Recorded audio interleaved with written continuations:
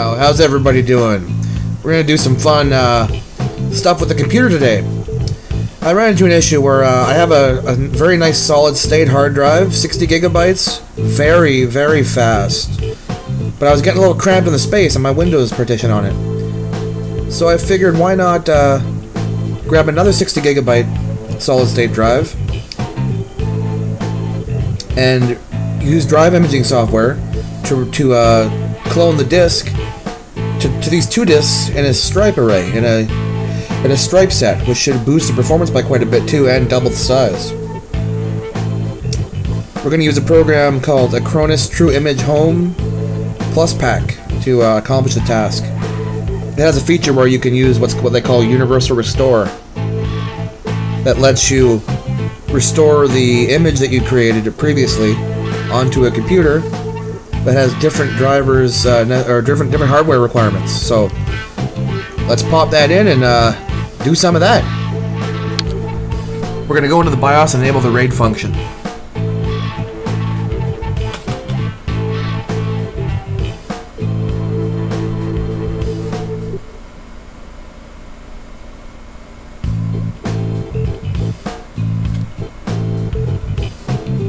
This will wipe out uh, the hard drives as well. It'll wipe any data that's on them. I've already created my image of the drive, and it's on a backup already. So, uh, what the fuck was it?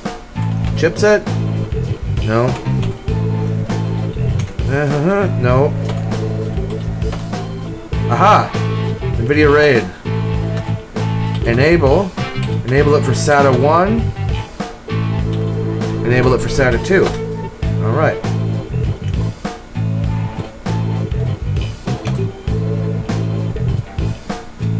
Now I'm going to configure the array. Now a new box is going to come up saying uh, NVIDIA RAID configuration after the post. Now be aware, if you do a standard image program and uh, clone it, it won't work. But this software, this Acronis image software has a nice feature whereby you can uh, restore it to different hardware. Delete. Yes. Delete. Yes. There was no stripe in there. When I was fucking with it before and I didn't get it to work. I screwed up. I think I know what I'm doing now. So I want to add this drive to the RAID want to add this drive to the RAID. There we go. The options. Mirroring. I don't want mirroring. So therefore, striping gives you max performance. It puts it writes the, the data to both drives evenly, giving you a boost in read and write performance. Okay, striping block. I'll leave it all optimal. All right.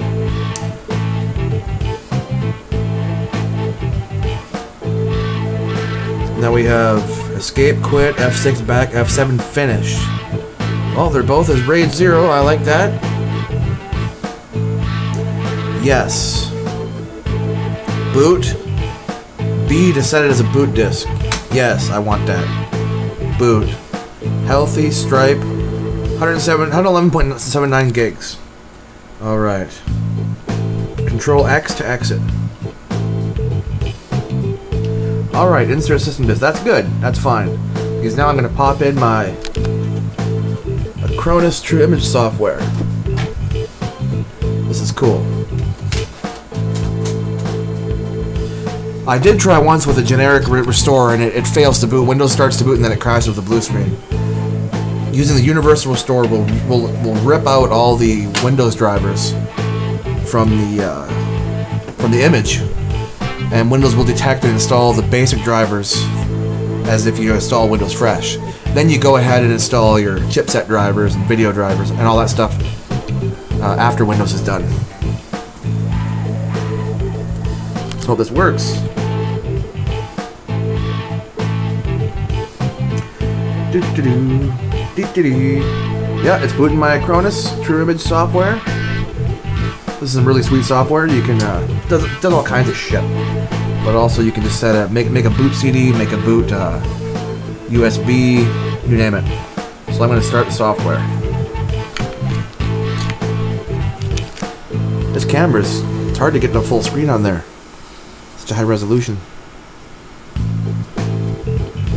I'll show you all this step by step, so if y'all want to do it, y'all can.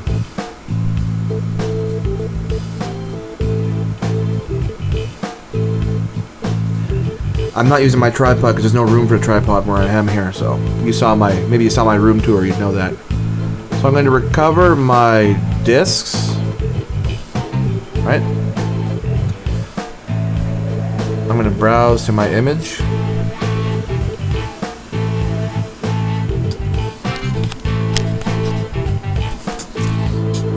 There we go. Let's see here. Backups. No. My backups. There we go. This is the the image file I created earlier. Where is it? Yeah, there it is. Okay, so it knows that it's a backup file. I'll choose that. Next. Now this button here is very important, right here. Use Universal Restore. Yeah. So I'm going to use that. You can also recover chosen files and folders and all that. If you want to, but that's not what I'm doing here today.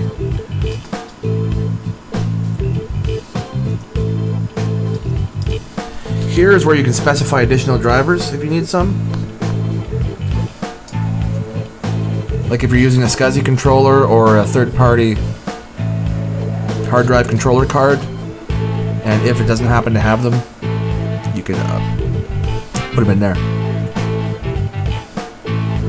I want to restore the entire disk. If you want to make it bootable and all that, you want to make sure all these are checked, so go ahead and choose all that.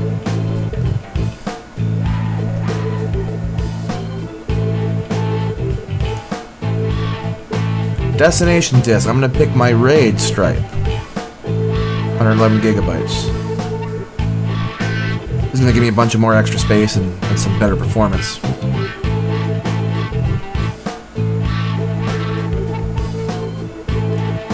Alright. Options. Meh.